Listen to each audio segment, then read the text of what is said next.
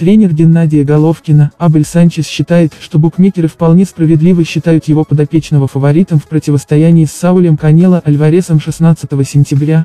Я думаю, что в Лас-Вегасе привыкли зарабатывать деньги, а не терять их. Похоже, что у букмекеров есть причина отдавать Геннадию свое предпочтение.